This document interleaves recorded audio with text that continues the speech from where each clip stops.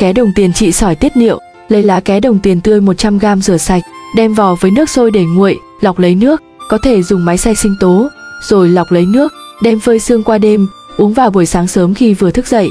Sau đó kết hợp dùng thêm rễ cây dứa dại khô sao vàng 40g một ngày dạng sắc uống. Dùng cách trên liên tục trong thời gian từ 5 đến 7 ngày sẽ đạt hiệu quả tốt.